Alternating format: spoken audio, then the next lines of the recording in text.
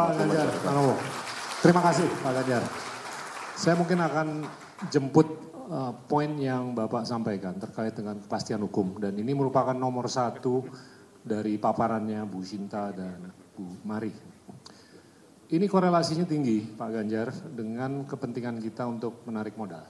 Saya mau coba bungkus ini dalam konteks modal yang ada di dalam negeri. Modal yang ada di dalam negeri itu terbatas sejauh uang beredar yang ada, sejauh sektor perbankan yang ada, sejauh sektor atau pasar modal yang ada. Nah, kalau saya hitung rasio uang beredar yang ada terhadap PDB kita atau ekonomi kita, rasio perbankan terhadap PDB kita, rasio pasar modal terhadap PDB kita, ini tiga-tiganya di bawah 50 persen. Jadinya sangat terbatas, ya? sangat terbatas dibandingkan negara-negara maju yang rasionya itu jauh di atas 100 persen. Jadi mau nggak mau ada keniscayaan untuk kita benar-benar harus fokus untuk menarik modal dari luar negeri. Nah saya mau kembangkan ada beberapa statistik mengenai penanaman modal asing. FDI di Indonesia itu relatif rendah sekali Pak Ganjar. Kalau saya lihat rasio FDI per orang per tahun, itu kurang lebih 100 dolar. Hampir sama dengan apa yang kita saksikan di Filipina, Malaysia, Thailand, dan Vietnam. Tapi rasio yang sama di Singapura itu 19 ribu dolar. Kita 100 dolar, Singapura 19 ribu dolar. Refleks kita itu menyatakan bahwa ini negara kecil jadinya secara relatif mereka bisa lebih tinggi. Tapi secara absolut tahun 2021 Singapura itu bisa mendatangkan 105 miliar dolar. Sedangkan Indonesia hanya 30 miliar dolar.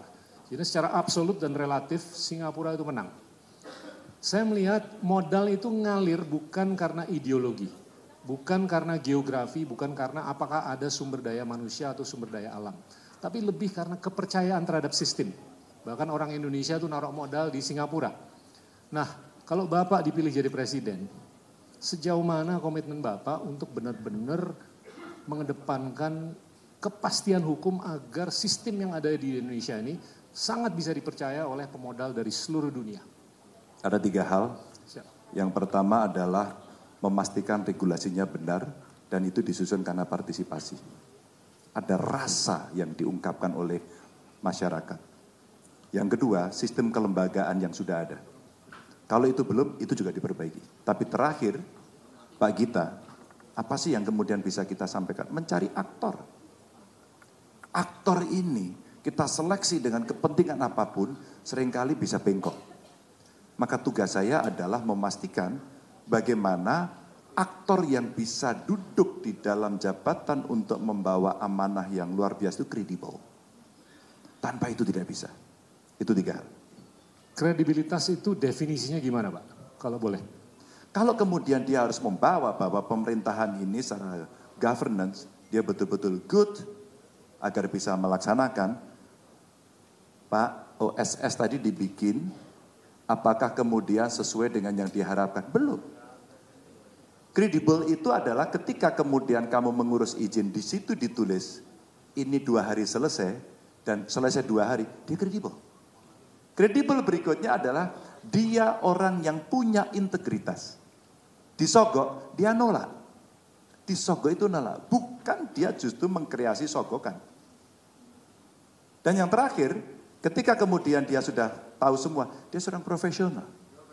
Maka dia mengerti akan fungsinya, bukan orang yang tiba-tiba dipungut karena kemudian jatah, mohon maaf. Itu harus saya sampaikan. Maka mendefinisikan kredibel buat, buat saya tidak terlalu sulit untuk itu. Terima kasih. Nah, kalau kita mendengar para capres, bukan hanya di Indonesia, tapi di seluruh dunia, mereka itu jago sekali memberikan janji. Janji politik yang kental dengan kemudahan yang akan diberikan ke masyarakat luas. Apakah itu konteksnya pendidikan, makanan, kesehatan, dan lain-lain. Tapi saya jarang mendengar seorang capres yang bisa menyampaikan bagaimana beliau itu bisa mendanai untuk memenuhi janji politiknya. Nah ini mungkin berkaitan dengan apa yang saya lihat dalam beberapa waktu terakhir ini, sudah terjadi renormalisasi ruang fiskal Jadinya ruang fiskal kita ini udah ada perbaikan dalam mungkin satu dua tahun terakhir karena kita dihantam luar biasa selama COVID-19 selama dua setengah tahun. Tapi kalau kita lihat rasio pendapatan pajak terhadap ekonomi kita, ini masih sangat suboptimal, masih di bawah 10 persen. Apabila kita lirik ke negara-negara OECD, negara-negara setengah dan maju ke atas, itu rasionya kurang lebih 33 persen. Nah, sebagai presiden, Bapak itu langkah konkretnya apa untuk bisa meningkatkan jarum kita dari di bawah 10 persen ke angka yang jauh di atas agar janji apa pun yang Bapak sampaikan itu bisa dipenuhi karena dananya tersedia. Ada dua hal. Yang pertama adalah jangan berburu di kebun binatang untuk urusan pajak. Oke. Nggak usah tepuk tangan, nggak dapat sepeda. Saya yang mengatakan itu. Jangan berburu di kebun binatang dan jangan mancing di kolam. Maka saya mau merespon, mudah-mudahan sama. Ekstensifikasi. Kalau ada orang yang beker, pernah bekerja di pajak atau berhubungan dengan orang pajak, mari kita catat baik-baik. Saya orang yang pernah berteriak sangat keras ketika teks amnesti diberikan, dan setelah itu mau pilpres, dan kemudian ada orang pakai baju kaos, kemudian ketuk-ketuk rumah, nagih pajak. Dan ini menimbulkan kecemasan. Mas kita, kalau kita meningkatkan rasio sebenarnya, saya ini tanya sama kawan-kawan pengusaha, ketakutan kawan-kawan pengusaha apa? Ketakutan saya dia disembelih. Kami menjadi objek dan ditembakin berkali-kali. Maka kalau kita bicara optimalisasinya adalah berapa yang punya NPWP, NPWP dulu aja deh. Berapa yang bayar dan berapa yang menuliskan SPT.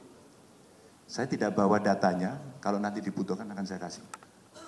Dan saya mendapatkan itu dari kawan-kawan yang peduli pajak.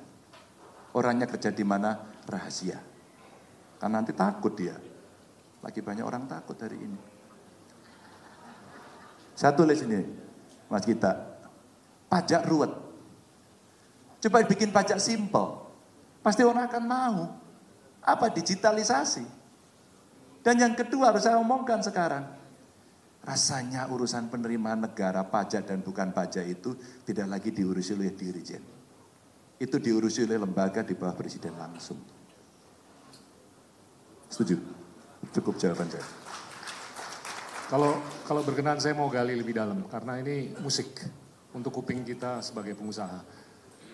Dalam gambaran kepresidenan Pak Ganjar, kira-kira rezim pajak ke depan ini gimana? Apakah kental dengan tax rate yang lebih memberikan insentif kepada produksi dan disinsentif terhadap konsumsi yang kurang berkenan? Dan apakah realistis dalam waktu dekat itu untuk Indonesia itu tax regime-nya mirip-mirip seperti apa yang kita lihat di Hong Kong ataupun di Singapura. Di mana pribadi ataupun korporasi itu pajaknya di bawah 20 persen. Di mana di Indonesia itu jauh di atas itu. Apakah itu memungkinkan? Kalaupun mungkin itu berapa lama lagi kita bisa lihat. Kalau tidak, kenapa? Saya tunggu harus nunjuk menteri dulu untuk menjawab teknis ini ya. Sudah ada yang siap menjadi menteri saya hari ini? Oh oke okay, oke okay, oke. Okay. Oh nanti dulu, Mas Acat aja belum tentu kok gitu. Itu nanti. saya tentu tidak bisa menjawab kapan, berapa lama, sampai di mana, tidak. Tapi kalau kemudian tax rezim mau kita sampaikan, dinamika dunia dan lingkungan eksternalnya berubahnya seperti apa. Kan ini bukan cerita uh, sesuatu yang statis, sesuatu yang dinamis. Ketika kemudian uh, tech rezim itu, Mbok sudah kayak Singapura, iya. Tapi Singapura itu orang punya ketaatan yang tinggi. Dugaan saya sampai hari ini kalau saya ngomong dengan beberapa menterinya umpama, mereka orang-orang yang mengelola dengan sikap profesional dan dalam konteks relasi dengan masyarakat biasa-biasa saja. Apa artinya? Dia tidak bis, tidak merasa juga kelas-kelas satu amat begitu ya. Karena dia harus melayani uh, dari masyarakatnya. Artinya apa? Betul-betul governance itu dipegang ketat. Sehingga ada etik. Ada etik yang kemudian, oh ini kalau saya langgar berbahaya. Maka apa? Kalau kemudian kita mau bikin seperti Singapura dan kemudian faktor-faktor eksternalnya kita bisa perbaiki, good governance, transparansi, akuntabel, mudah, murah, cepat, penegakan, penegakan hukumnya oke, okay, beres. Saya datang beberapa waktu yang lalu sowan kepada Ibu Mary Hugeng. Beliau istri polisi yang legendaris, Pak Hugeng. Saya ingin mendapatkan cerita keluarga itu pada saat Pak Hugeng jadi Kapolri seperti apa. Yang saya dapatkan adalah keluarga yang sangat sederhana, keluarga yang menerima kondisi itu sebagai sebuah amanah dan bukan memanfaatkan jabatan itu. Apa sih yang relate dengan pertanyaan ini? Ketika seperti itu kondisinya, maka sukses dari revolusi mental sebenarnya ada benchmarknya, yaitu Ya itu, maka tidak ada cerita berlebihan. Kalau itu terjadi, maka aktor yang saya katakan tadi bisa mengelola dengan baik, dia akan melakukan kontrol diri. Maka ketika kemudian kita kaitkan, ini akan seperti apa negara, oh situasi eksternalnya mendukung, maka bisa naik turun. Saya mau cerita dikit.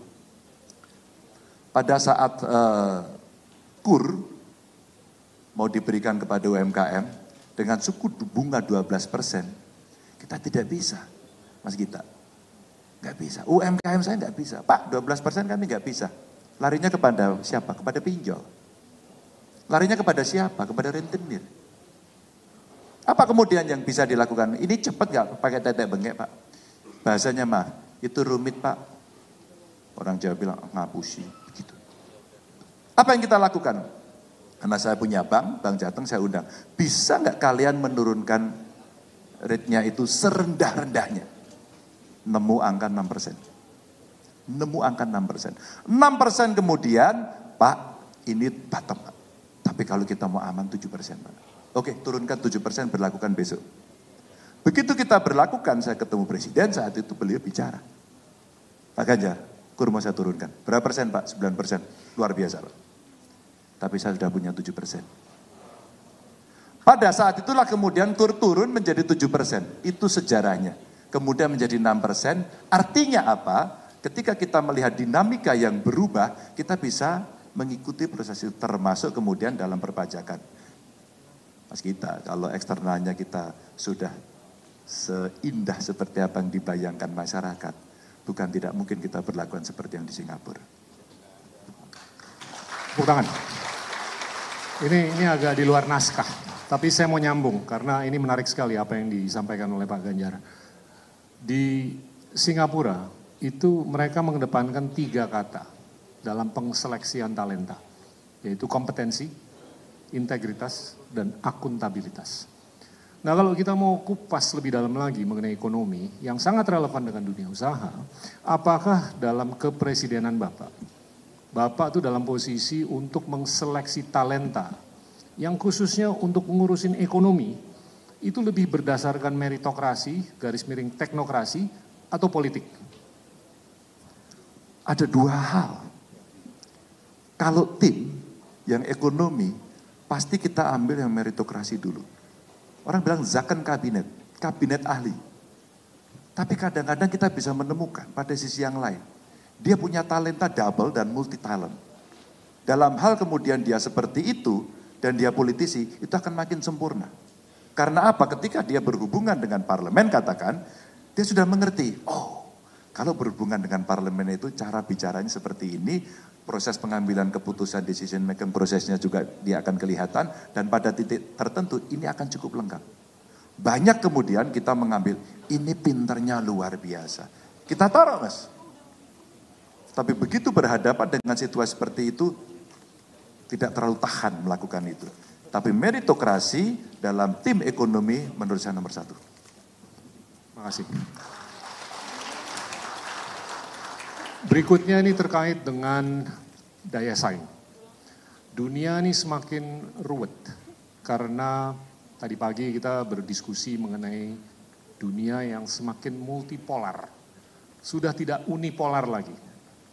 dengan multipolaritas yang harus kita hadapi, ini kita gontok-gontokannya makin banyak. Dan Indonesia ini nggak ada alasan untuk tidak bisa menjadi middle power yang sangat membanggakan kita. Ekonomi terbesar nomor 4 di dunia di tahun 2045, demokrasi nomor 3, populasi nomor 4. Tapi kalau saya lihat, dalam konteks atau era yang mana kita nih harus lebih melakukan bilateralisasi, bukan multilateralisasi, karena multilateralisasi ini semakin sulit. Ujung-ujungnya ini daya saing kita. Nah, empiris kita harus meningkatkan produktivitas. Nah, gambaran mengenai produktivitas kita ini masih relatif nggak terlalu tinggi produktivitas Indonesia atau produktivitas marginalnya itu hanya 25 ribu dolar. Itu kapasitas rata-rata orang di Indonesia untuk memproduksi barang dan jasa per tahun. Dibandingkan sekali lagi Singapura, mohon maaf, mereka tuh ada di 200 ribu dolar. Rata-rata di Singapura mereka bisa memproduksi barang dan jasa dengan nilai 200 ribu dolar. Indonesia hanya 25 ribu dolar. Kalau Indonesia mau menjadi kekuatan tengah yang relevan, mau nggak mau kita harus meningkatkan angka ini ke angka yang jauh lebih jauh, jauh lebih tinggi. Langkah apa saja yang Bapak akan lakukan agar jarum ini bisa bergerak dengan kecepatan yang sangat berkenan dari 25 ribu dolar ke angka yang lebih tinggi? Crash program. Satu pelatihan itu untuk fitting pada kondisi existing hari ini. Crash program. Upskilling kita latih dengan crash program agar mereka bisa fit dengan kondisi hari ini. Tapi jika kita memproyeksikan semacam manpower supply yang kita siapkan untuk membangun sebuah, sebutlah kawasan industri dengan teknologi yang tinggi. Maka ketika ini berjalan, kita siapkan SDM-nya. Ada contoh yang sedang kita bangun, sayang saya tidak bisa menungguin karena masa jabatan sebagai gubernur selesai. Adalah kawasan industri Kendal yang sudah berjalan, dia berhubungan dengan kurang lebih 100 sekian saya lupa persisnya eh, sekolah vokasi. Terus kemudian kita extend di sebelahnya kawasan industri Batang. Yang saat itu kita desain bersama-sama agar ini bisa menjadi sebuah apa terobosan yang kita bisa dorong untuk bisa kita sampaikan. Sorry, sudah ada beritanya. Bukan ratusan, 30 industri DKI ini siap menampung vokasi dari industrinya, tapi beberapa sekolah vokasinya kita siapkan. Nah, yang di Batang kita cek sumber daya alam, eh, sumber daya manusia yang ada di sekitarnya, maaf, relatif tidak siap. Demikian juga di banyak tempat yang lainnya sering kali masyarakat yang ada di sekitar mengatakan kami hanya menjadi penonton kan kami tidak mau tidak bisa dilibatkan. Apa yang dilakukan? Kelas programnya pelatihan, kemudian membuat sekolah. Maka kalau di awal tadi kami sampaikan, kita ingin merancang proses industrialisasi dan ada titik-titik pertumbuhan ekonomi baru yang kita siapkan. SDM-mu yang kamu butuhkan seperti apa? Kalau kemudian kita sudah menemukan itu, maka itulah minimum standar yang mesti diberikan. Maka tugas negara, tugas pemerintah adalah menyiapkan itu. Karena kita ngurus sekolah. Tugas industri pengusaha adalah menyiapkan spesifikasi yang ada. Mas, kalau sudah seperti itu, sudah ketemu, maka target dari perusahaan, target dari industri untuk seberapa produktivitas dia mesti dapatkan, pasti akan tertuju. Tapi kita call tinggi, kami mau tinggi dan kemudian tidak mendapatkan SDM yang baik. Jangan pernah bermimpi. Kecuali SDM-nya ini dipotong dan kemudian diganti semuanya dengan robot. Achievement kita akan tercapai. Ini ada satu industri rokok umpama di Jawa Tengah, satu lintingnya masih dikerjakan, tapi sisi yang lain dia sudah dengan mesin yang sangat canggih sekali, sangat canggih sekali. Lalu saya tanya kepada pemiliknya, kenapa yang ini tidak diganti dengan ini aja? Kan efisien. Jawabannya sungguh membuat rasa kemanusiaan kita tercolek. Mas, saya sebesar ini karena mereka. Itu yang tidak akan pernah sampai kapan pun meskipun kami tahu kinerjanya hanya segitu. Tapi untuk kebutuhan produksi uh, dan performa perusahaan kami, maka kami buat yang sangat modern. Tangan. Kalau berkenan saya ingin buka ke floor. Ini Dengan akan ada beberapa penanya. Yang pertama nih topiknya terkait dengan ketenaga kerjaan. Ada Pak Edi Wijanarko. Monggo, silakan. Sambil Terima saya catat kasih ya. Pak Gita. Selamat siang Pak Ganjar. Nama saya Edi Wijanarko, Ketua DPP Apindo Jawa Timur. Tadi saya melihat bahwa itu ada satu uh, apa uh, ungkapan mengenai Indonesia unggul, itu yang pertama itu adalah penegakan hukum. Dan itu sangat tepat, sudah kita suarakan Apindo, ada kepastian hukum yang memang kita sangat kita harapkan. Pertanyaan saya adalah mengenai pengupahan. Pengupahan setiap tahun, itu kebijakan pengupahan itu selalu tidak ada kepastian. Apabila apalagi kemudian ke, apa uh, upah ini selalu didasari oleh unjuk rasa-unjuk rasa yang terjadi. Dan ini selalu menakutkan kita, terutama untuk industri padat karya.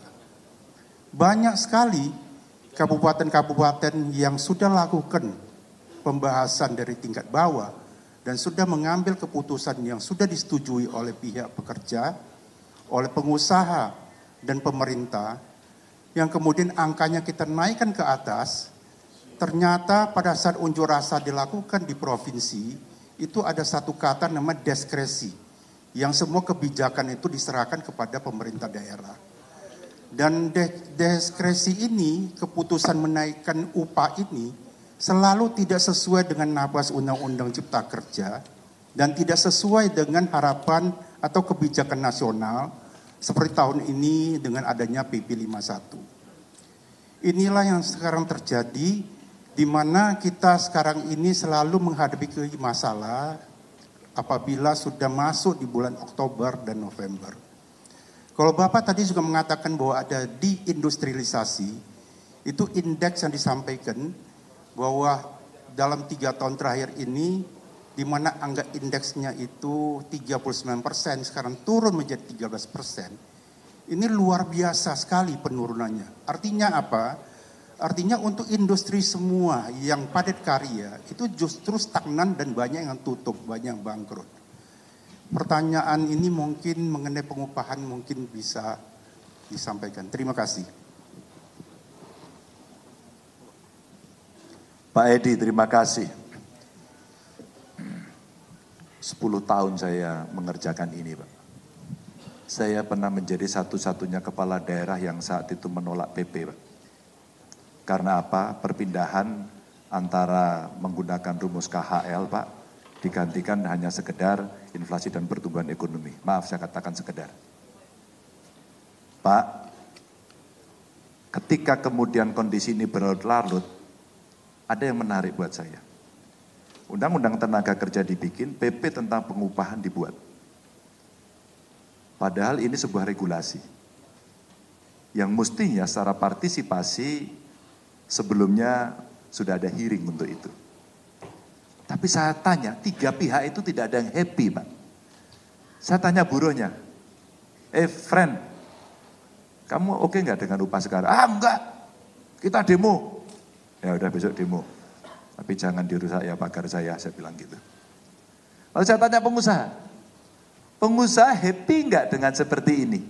Ah enggak pak, kami nggak mau. Oke, saya tanya mas kita, Eh, Bupati, Kepala Dinas Tenaga Kerja, Anda happy nggak ngurus ini? Enggak. Loh, ini keputusan diambil kok tidak ada happy tiga-tiganya?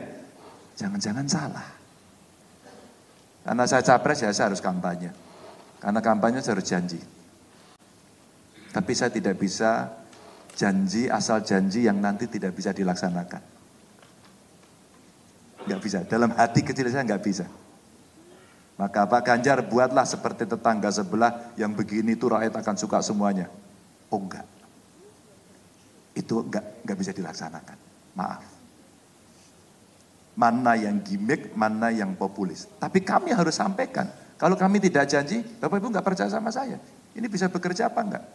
Maka selalu saya sampaikan dengan contoh. Nah kesempatan saya memberikan contoh. Saya ngobrol kemarin ketemu dengan para buruh. Friend, apa problemmu? Problem saya upahnya terlalu murah. Oke, kalau gitu kita tinggikan. Berapa mau? Ya pokoknya tinggi, nggak ada pokoknya. Hitung dulu. Ada nggak organisasi buruh yang bisa menghitung? Ternyata mereka juga butuh masukan. Oke Pak, kalau begitu kita bicara. Karena apa?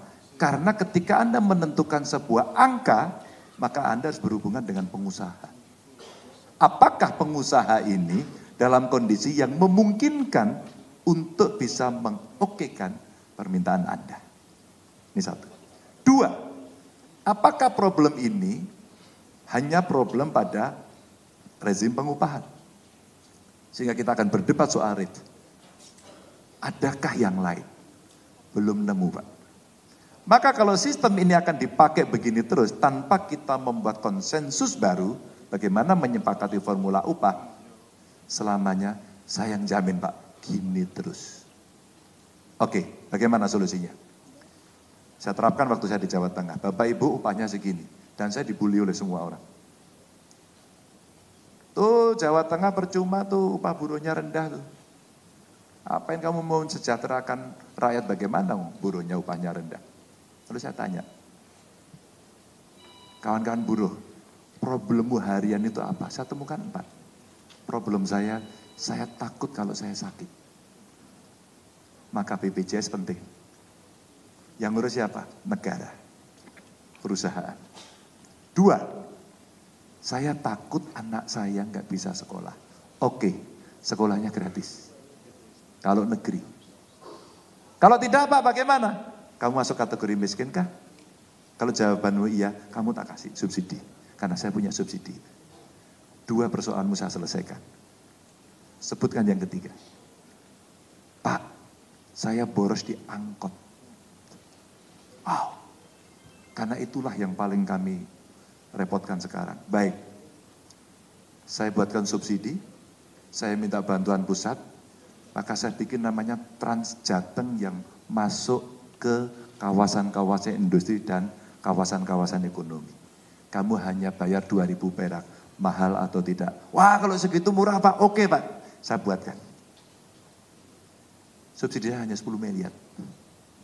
Terus kemudian ditambah, koridornya ditambah, Pak lewat sini, Pak lewat sini, lewat sini. Negara tanggung jawab. Dan terakhir apa? Akomodasi. Maka kalau kemudian format ini dipakai, upah boleh sejumlah ini. Tapi beberapa persoalan dihandle oleh pemerintah. Maka apa? Jatuhnya akan sama. Maka dia butuh kalau ditanya di survei, dia bisa menambah performance surveinya. Apa itu Pak? Indeks kebahagiaan Pak. Indeks kebahagiaan. Maka Pak, saya lagi meminta tim saya, kalau Bapak berkenan kami akan senang, ya Mbak, Yuk kita bicara soal pengupahan ini yuk. Dulu Pak, waktu masih pakai KHL. KHL itu surveinya kan 10 bulan. Dua bulannya pakai pertumbuhan ekonomi dan inflasi. Ya. Saya bisa ngomong sampai sedetail ini Pak, saya tungguin sendiri Pak. Tahu Pak yang di Jawa Tengah Pak, ngomong saya gini Mas kita. Udah nggak usah demo, buruh nggak usah demo, pengusaha nggak usah marah-marah ya. Ini kan mau tripartit. Saya pinjem di tempat saya, tak kunci dari luar sampai Anda bersepakat. Kalau nggak sepakat jangan keluar. Sulitnya minta ampun. Pak. Maka pada saat kami membuat sebuah survei KHL, terjadi menteri mengeluarkan aturan pertumbuhan ekonomi dan inflasi. Maaf tidak bisa. Izin saya hari ini khusus untuk tidak menggunakan itu. Karena saya tanya sama buruh, kan kan buruh, kamu mau milih pakai PP atau milih pakai KHL? Begitu. Saya tolak dua-duanya, gak ada. Pedi, jawaban saya gitu, gak ada, kamu harus pilih salah satu. Kalau tidak saya putuskan sendiri.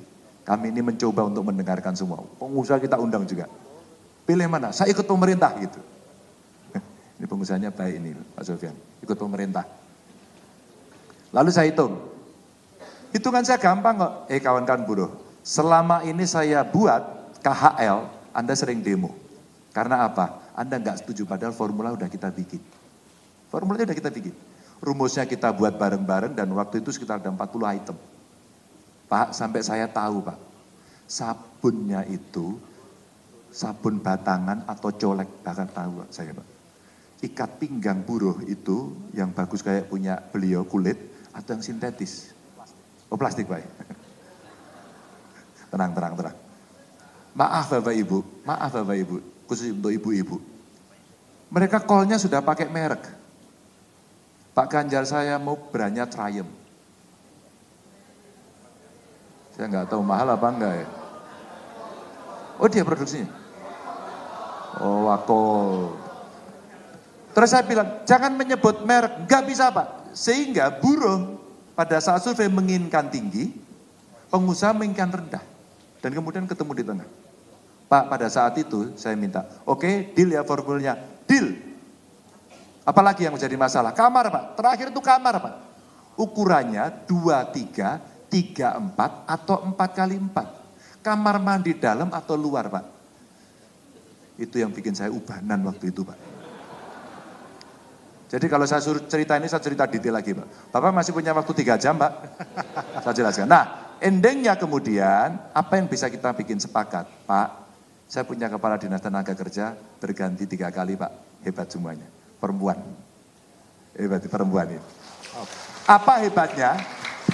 Umpama, pengusaha wakil Apindo paling galak siapa? Bu Ana, datangi dulu Bu Ana. Tenang ya Mbak, tenang ya Mbak. Datangi dulu. Bu Ana punya argumentasi. Yang paling galak siapa buruhnya? Ya, kita metal biasanya ya. Metal yang paling galak. Metal panggil dulu. Terus kemudian kita dudukkan, kita jemput bola Pak. Pak itu psikologisnya beda Pak. Sampai kemudian sepakat.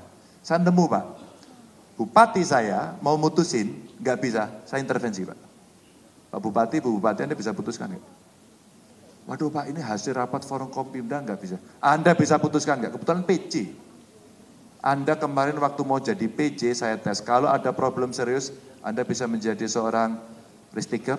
Oh siapa gitu. Nah sekarang Anda memutuskan nggak bisa. Belgedes saya bilang gitu. Nggak bisa sampai bicara begitu. Akhirnya apa yang terjadi? Saya kasih waktu 10 menit. Anda putuskan atau Anda saya copot dari PJ. Karena omongan Anda tidak sama dengan saat interview. 7 menit putus Pak. Apa artinya yang mau saya ceritakan? Sebenarnya butuh situasi-situasi untuk kita pemimpin tertinggi, saya sebagai gubernur waktu itu, jangan pernah merasa tangannya kotor atau jijik ketika kemudian harus bersentuhan dengan yang paling bawah, Pak. Karena itu menyelesaikan persoalan. Terima kasih. Jelas, jelas sekali. Berikutnya ini terkait dengan UMKM yang akan bertanya adalah Pak Ronald Walabob. Monggo, silakan. Jangan sulit-sulit Pak. Selamat sore Pak Ganjar. Terima kasih atas uh, kesempatan dan waktunya. Nama saya Ronald Wala dari bagian uh, Apindo UKM dan Koperasi. Pertanyaan kami, uh, strategi pengembangan UKM seperti apa yang harus dilakukan oleh pemerintah mengingat pola pembinaan UKM yang kompleks yang melibatkan 24 uh, kementerian lembaga, pemerintah pusat dan daerah, dan juga terkait dengan pengembangan UMKM dalam berbagai aspek, antara lain akses pasar, perizinan usaha, pengembangan kapasitas, kewirausahaan, dan skill yang berkelanjutan. Jadi dan juga pendanaan dan sebagainya. Mungkin mohon dijelaskan Bapak. Terima kasih Pak. Eh tadi ada beritanya tampilin dong itu. ada tiga Pak dari pertanyaan yang saya berikan kepada pelaku UMKM apa problemmu dan kemudian saya rumuskan. Tiga ini setelah rumusannya banyak, itu masalahnya disampaikan, ada tiga saja Pak. Tiga Pak. Hanya tiga persoalan. Paham kan Pak? Tiga. Bukan ini persoalannya Pak. Ini kalau politik itu begini ya, kenapa jadi sensitif ya? Cuma tiga.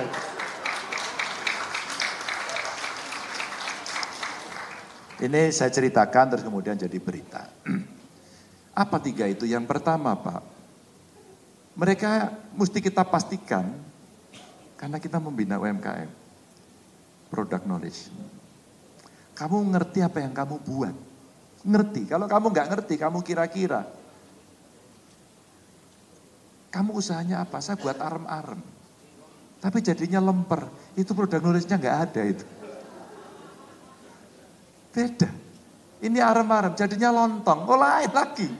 Itu beda, dia nggak ngerti produk knowledge. Maka dia mesti yakin betul. Oh saya bisa membuat ini dan saya ngerti cara membuatnya. Oke, sampai di situ dulu dia beres. Setelah itu dia firm pada produk itu. Nanti biasanya kita tanya, apa lagi produknya? Gak laku pak. Ya iyalah. Wong cara kamu bungkus saja cuma dikasih plastik dikaretin kok. Udah nggak ada. Dilihat aja udah. Ya gitu aja. Maaf. Ini jualnya nanti ya paling bisa di pasar tradisional, terus kemudian nanti ibu bapak tidak akan bisa mendapatkan nilai tambah dan seterusnya. Nah kita latih. Setelah kita latih, latihan packaging gitu kan, terus kemudian latihan digital marketing gitu, terus membinanya dengan siapa? Saya undang tuh marketplace-marketplace yang gede-gede dan dia bantu. Free. Ini soal bagaimana kita merangkai beberapa kekuatan untuk mau bantu. Nanti begitu, Pak sekarang sudah Pak. Oke Pak. Tapi kok nggak laku ya Pak ya gitu. Ya mungkin doamu kurang. Ya dong, setelah berusaha kan harus berdoa. Maka pada saat itu, oke okay ya kalau begitu saya beli. Karena kita kurasi, kita dampingi, maka saya beli. Pak pada saat kita beli, Pak, aduh Pak kapasitas, kapasitas saya hanya segini Pak modal aja kurang. Maka akses permodalan. Lagi-lagi saya contohkan, bank saya, Bank Jateng setelah pernah menurunkan itu, kita buat skim-skim banyak sekali Pak. Satu, ya kredit yang tadi apa namanya suku bunga rendah itu kita kasih namanya Mitra Jateng 25. Itu maksimum 25 juta untuk UMKM. Pak. Satu itu. Kedua, kredit khusus perempuan. Bunganya 2 persen Pak, setahun. Mereka oke. Okay. Karena saya tanya, Pak kebutuhan modal saya harian itu hanya paling banter Pak, 500 ribu, sejuta, 2 juta. Siapa yang mau perhatian ini? Bang, gak mau repot mas. Bang ngurusnya gede-gede. Yang wangi, yang berdasi gitu. Gak mau ngurus yang gitu. Saya paksa. Kalau kamu ke pasar pakai kaos aja. Tulisi kaosnya gede-gede. Halo, halo siapa mau hutang. Gitu aja. Itu lebih enak gitu kan. Nah setelah akses modal Bapak Ibu, apalagi? Pendampingan. Nah ini sering kali nggak dilakukan. Pemerintah itu, ini otokritik buat saya sendiri waktu jadi gubernur biar nggak ada yang tersinggung. Bahwa ketika kemudian mereka dilatih, sebagai seorang ASN, kepala dinas, dia sudah merasa selesai tugasnya. Maka outputnya sudah bisa dilaporkan, training sudah selesai, selesai. Outcome-nya tidak pernah bisa dihitung. Saya tagih. Maka UMKM naik kelas itu mau ditunjukkan, naik kelas tidak. Begitu pandemi, sebagian besar ibu-ibu tidak bisa jualan karena diusir oleh Satpol PP dan Satpol PP-nya yang nyuruh saya. Gimana tanggung jawab saya? Maka kita dorong pada marketplace. Setelah kita modali, kita kasih bantuan itu tadi, kita menjadi off taker. Maka 40% dari APBN APBD untuk membeli produk UMKM is emas. Gimana caranya? Diinjek Pak. Siapa yang diinjek? Seluruh kepala dinas. Progresmu untuk kamu bisa on board dari list produk UMKM sudah berapa? Kita injek Pak. Setiap hari Senin kami rapat, kami umumkan. Bu, dinas ibu baru segini. Apakah ibu bisa meningkatkan? Ini bagian jadi achievement sebelum diganti, kira-kira gitu. Siapa? Beres. Pak, punya bapak udah bagus banget Kok bisa bagus bagaimana ceritanya? Dia cerita, sharing di antara teman-teman. Maka ketika kemudian dia bisa on board di situ, ya, maka bereslah. Baru kita tahu persoalannya. Dua nanti persoalannya, satu legalitasnya nggak beres, dua problem pajak. Maka kami itu hanya kasih satu lembar aja. Oh, Bung kita ini lagi buat usaha, anak muda, startup gitu, masuk UMKM. Masuk aja, dimasukin ke e-katalog lokal. Wah repot pak, enggak, ini loh diisi. Satu lembar aja. Ini cara pendampingan.